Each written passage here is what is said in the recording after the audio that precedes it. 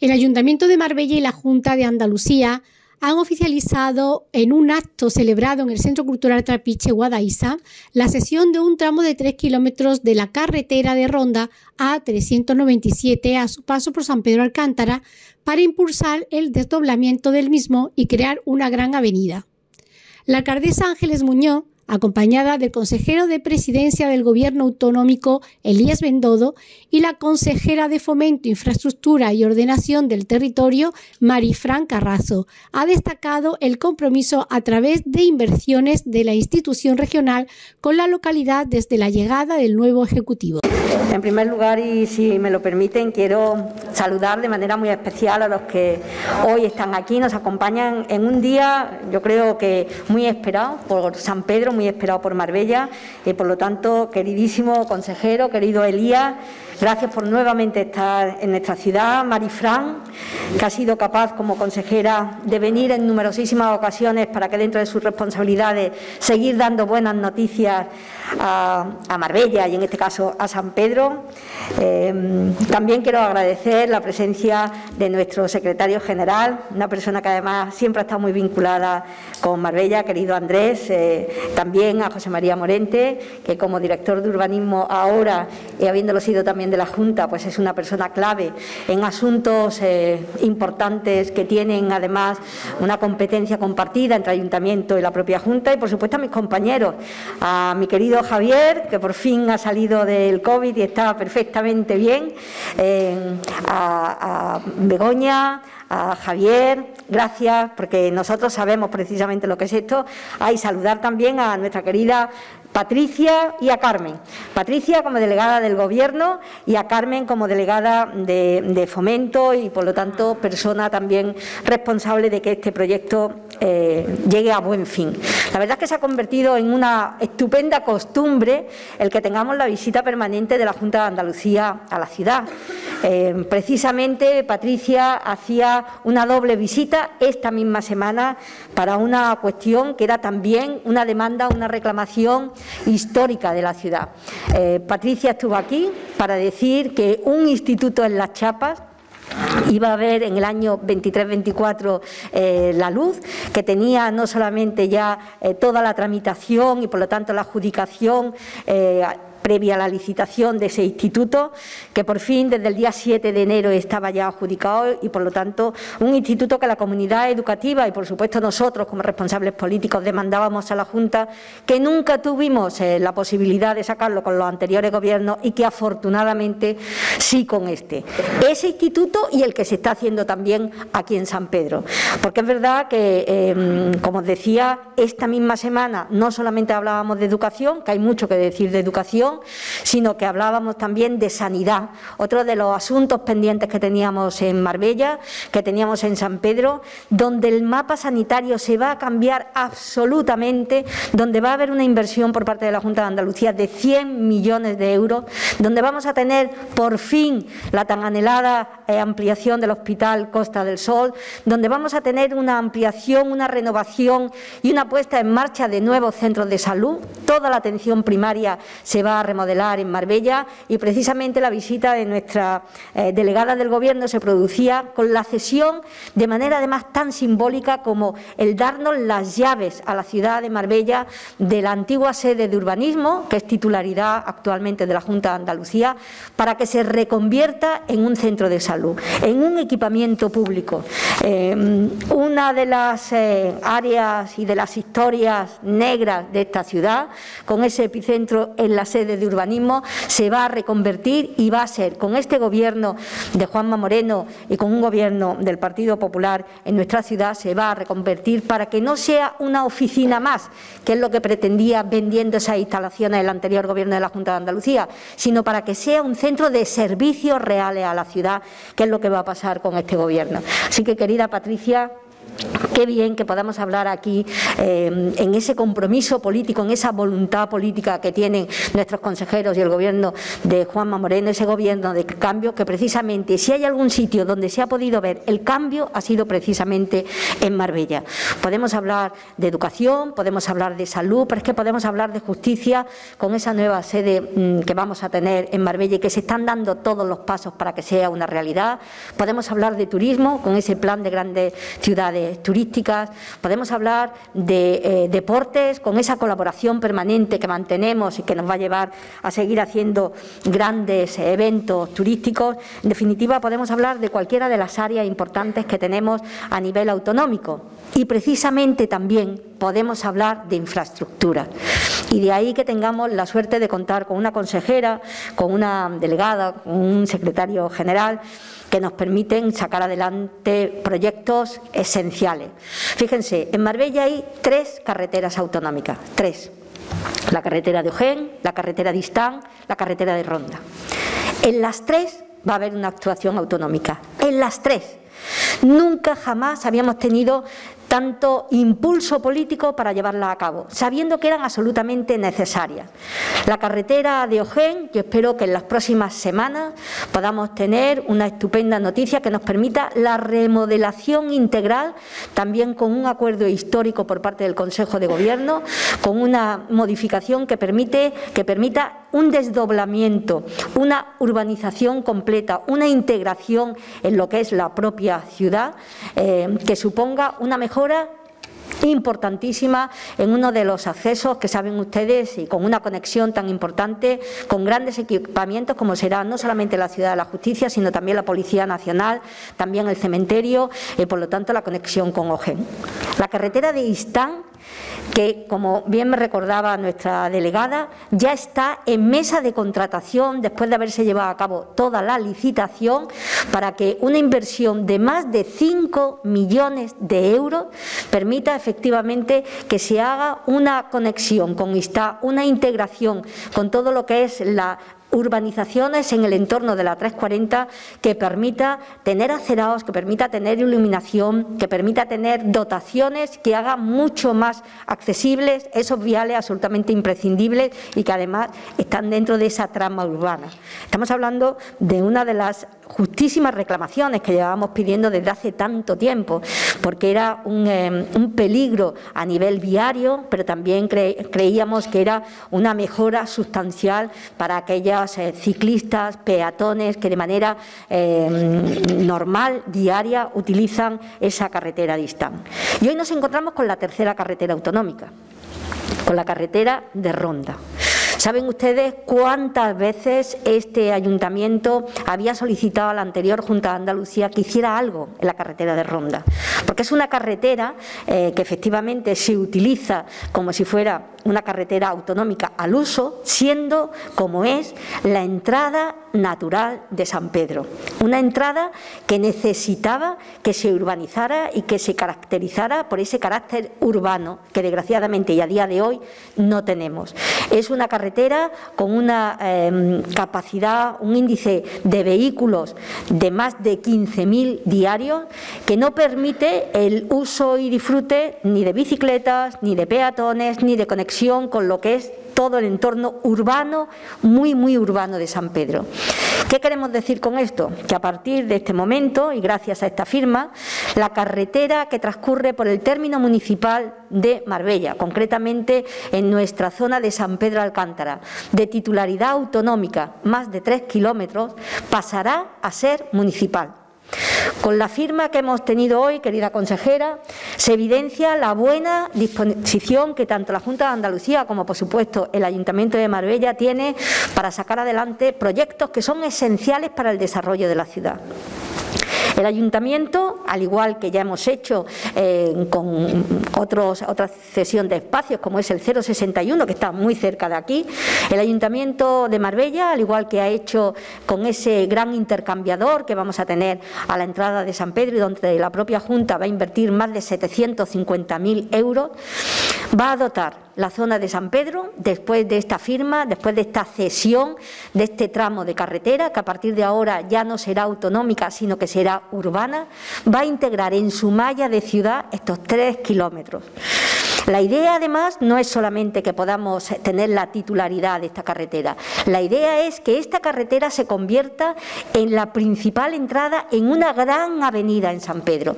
Se va a cambiar la fisonomía de San Pedro. Al igual que ya lo hicimos en San Pedro con la transformación del bulevar, que sepan ustedes que en el momento que tanto la Junta y el Ayuntamiento acaban de firmar ese traspaso de titularidad, el Ayuntamiento se pone a trabajar de manera inminente para que podamos tener una doble vía que podamos desdoblar y podamos tener mayor capacidad de tránsito, que por lo tanto se pueda bajar la velocidad, que podamos disponer de aceras, que podamos disponer de carril bici, que tengamos iluminación y que por lo tanto, como les decía, sea esa gran avenida.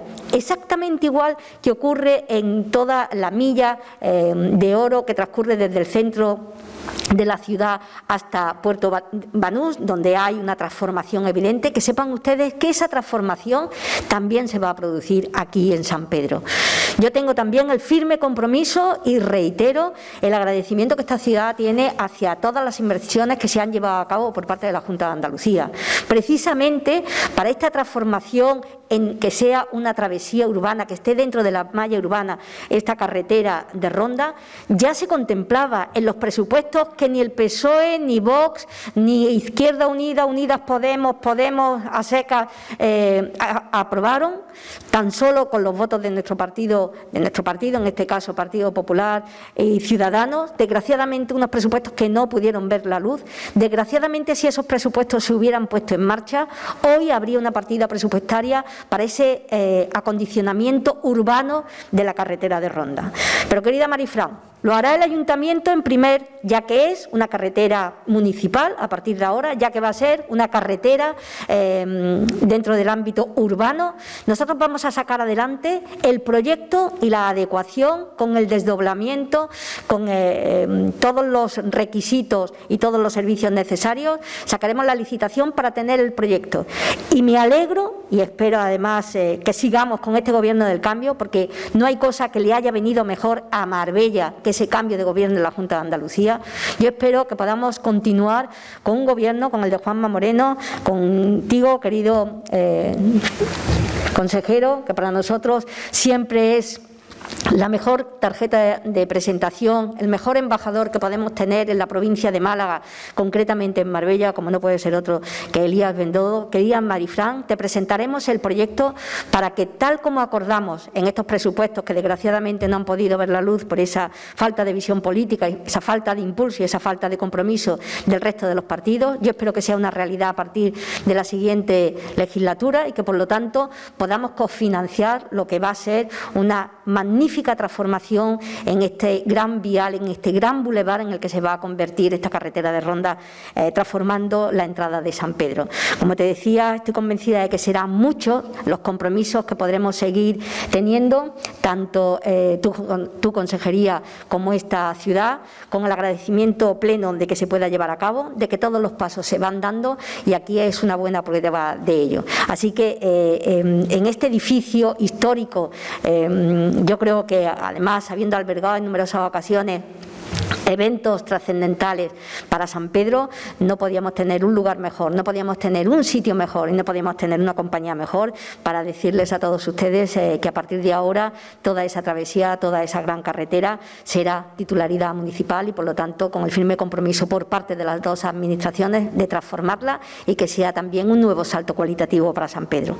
Muchísimas gracias, queridos consejeros, nos tenéis a vuestra disposición. Es un gran orgullo, un gran honor formar parte de un partido, de un equipo que es capaz de sentir, de conocer y de plasmar acuerdos como este. Así que muchísimas gracias a todos.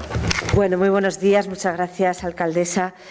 Eh, compañero Elías Bendodo, del Consejo de Gobierno y consejero eh, de Málaga, siempre atento, muy pendiente de todos los proyectos que afectan a esta provincia y de Marbella también. Hemos compartido agenda en Marbella en numerosas ocasiones y hoy volvemos a hacerlo y siempre bueno, pues trayendo buenas noticias, trayendo inversiones. El compromiso de la Junta de Andalucía y de su presidente con Marbella es claro determinante, decía bien la alcaldesa, le sienta bien el gobierno del cambio a Marbella y hoy, bueno, pues quiero hacer un balance de esos proyectos que solo la Consejería de Fomento tiene pendientes y los, sobre los que estamos trabajando de futuro. Alcaldesa, hemos conseguido terminar, culminar esa cesión de un tramo que es urbano, de travesía, de la carretera de Ronda, de la carretera autonómica 397, a su paso por San Pedro de Alcántara. Y esto, bueno, pues era una reivindicación eh, del Ayuntamiento de Marbella para comenzar una nueva etapa en el término municipal de San Pedro y afrontar pues, su transformación urbana de esta, de esta vía de la travesía.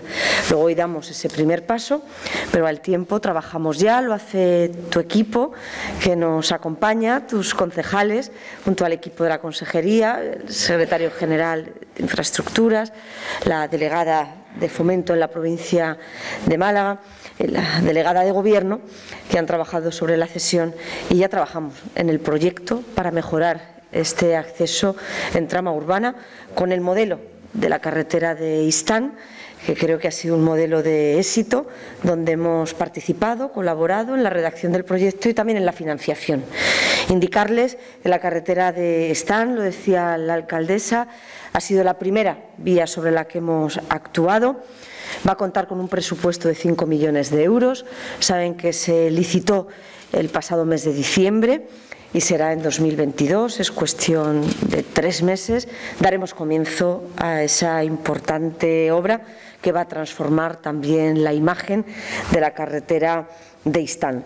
Continuaremos con este segundo proyecto sobre el que trabajábamos. Bien decía la alcaldesa que de forma eh, simbólica y, para que supiesen todos los eh, vecinos de Marbella que la Junta de Andalucía quería participar en la remodelación de la A397 en San Pedro de Alcántara, pintamos en los presupuestos de 2022 una partida presupuestaria de dos millones de euros como primer paso para financiar este proyecto cuando estuviera concluido, por si pudiéramos eh, licitarlo a lo largo de 2022, una vez supervisado y concluido el proyecto. Bien dice la alcaldesa, nos hemos quedado sin presupuesto de 2022. Esa pinza en el Parlamento de Andalucía de Vox con la izquierda, Partido Socialista de la más radical, ha hecho que no contemos con ese presupuesto y afecta a las partidas de autofinanciada.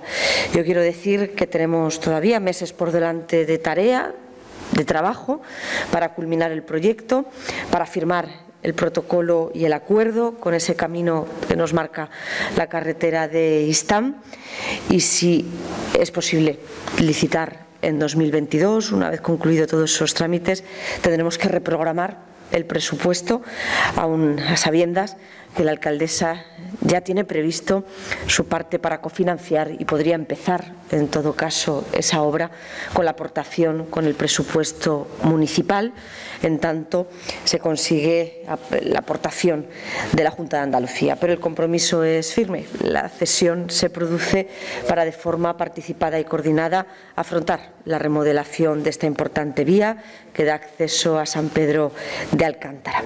Decirles que en la suma, la Consejería de Fomento en tres años tiene previsto una inversión en la ciudad de Marbella de 12,7 millones de euros.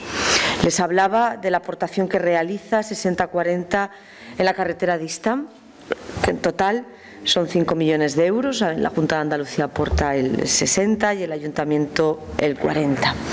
En materia de vivienda, en 2022 también comenzarán dos proyectos muy importantes. El primero, el de la rehabilitación de 562 viviendas en las Albarizas. Esta semana el programa de rehabilitación y de regeneración urbana ha dado un paso determinante.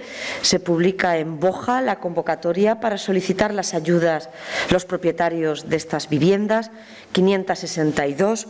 El Ayuntamiento de Marbella es entidad colaboradora de la Junta de Andalucía. Estamos trabajando de forma muy coordinada para eh, que este proyecto marche bien en Marbella tenemos seis meses por delante para solicitar sus propietarios, con la ayuda del Ayuntamiento, de la Junta de Andalucía, de la Delegación de Fomento, esas ayudas. Iba a venir a transformar la barriada de las Albarizas, que junto a la barriada de Carranque de la ciudad de Málaga son los dos proyectos para ciudades mayores de 50.000 habitantes de la provincia de Málaga que van a contar con esa ayuda de la Junta de Andalucía para afrontar una rehabilitación integral de mejora de accesibilidad, de eficiencia energética, de transformación de las albarizas.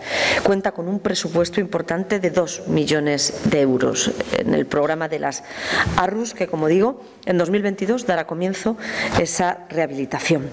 También en 2022 pondremos en pie una nueva promoción de viviendas en la ciudad de Marbella, eh, dentro del programa de fomento del alquiler.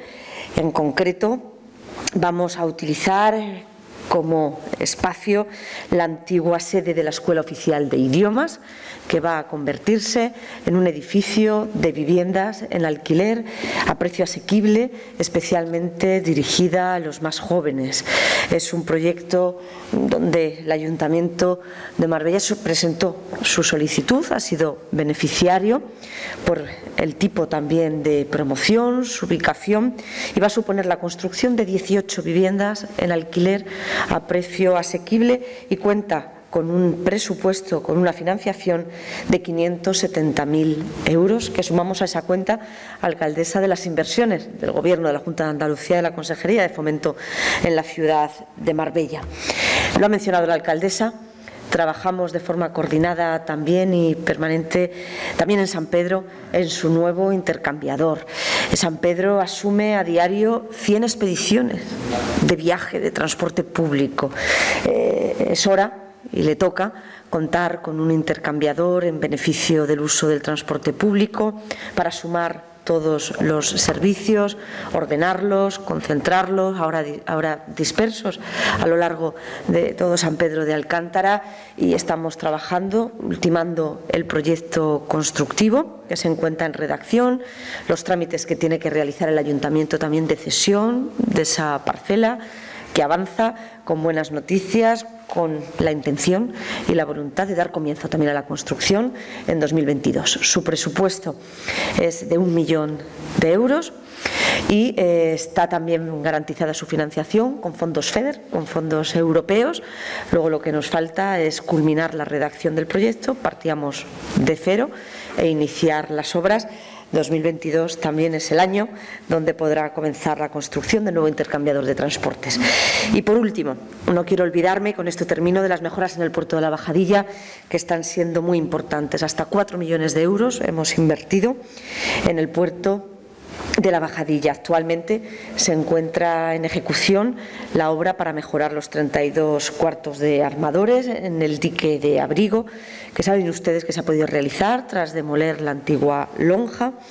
En febrero volveremos, alcaldesa, faltan unas semanas para comenzar la mejora de la esplanada del puerto, que saben que ya está adjudicada la obra, su, adecuación, es un proyecto también de Puerto Ciudad que cuenta con un presupuesto de 1,2 millones de euros. Comenzaremos esas obras también juntos en cuestión de semanas una vez se firme el contrato. Luego es, por tanto, que tengo que señalar, alcaldesa, que trabajando de forma muy coordinada, con lealtad, en equipo, hemos conseguido, y es en tiempo récord, afrontar la construcción de todos estos proyectos y la ejecución de 12,7 millones de euros.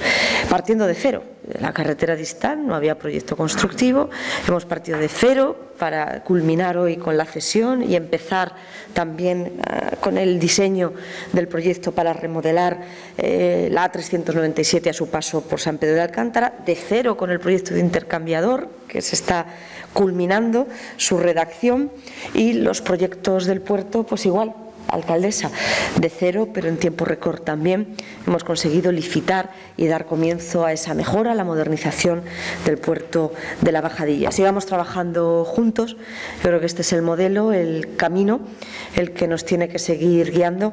Marbella, cuenta para la Junta de Andalucía.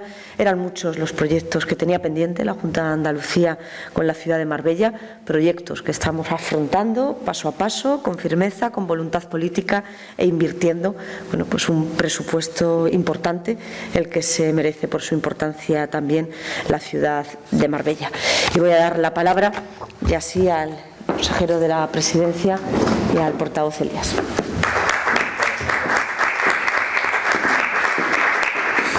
Bueno, pues yo creo que ya lo han dicho todo la alcaldesa y la consejera de fomento. La verdad que es una alegría volver a estar hoy aquí en Marbella. No voy a abundar yo en la firma del convenio y lo que supone para Marbella esta importante firma en el día de hoy, pero sí me gustaría, y por eso quería, cuando la consejera me invitó a este acto, aprovechar junto a la alcaldesa para hacer balance. Ahora hemos cumplido tres años de gobierno de la Junta de Andalucía, justo tres años y estamos haciendo un poco de balance ¿no? que hemos hecho en estos tres años. ¿no? Comentaba con la alcaldesa de Marbella cómo han sido estos tres años desde la Junta de Andalucía para Marbella y lo definíamos con un 0 a 150. ¿Y qué significa 0 a 150? Pues los anteriores gobiernos ya no solo no venían por aquí los presidentes ni los consejeros, parece que se avergonzaban de venir a Marbella. Pero bueno, que no vinieran, pero tampoco invertían tampoco invertían. Bueno, pues en tres años la Junta de Andalucía, solo en inversión, no me refiero en gastos, solo en inversión, ahora detallaré, ha invertido en Marbella, está invirtiendo en Marbella en torno a 150 millones de euros, que se dice pronto. Algunos proyectos lo ha dicho mi compañera de gobierno, Marifran, como es la mejora del puerto pesquero La Bajadilla, con 4.300.000 más 1.200.000 que entrará ahora en breve para adecuar la esplanada de Levante la licitación de las obras de acondicionamiento y urbanización del tramo de dos kilómetros de la carretera Marbella-Istán por 5 millones, el anteproyecto de construcción de la A397 entre Ronda y San Pedro, se está trabajando ya en el proyecto, la ampliación del Costa del Sol, 75 millones de euros que están en ejecución, más 12 millones de euros que tuvimos que eh, invertir para recuperar eh, la concesión que tenía el anterior gobierno de una empresa privada.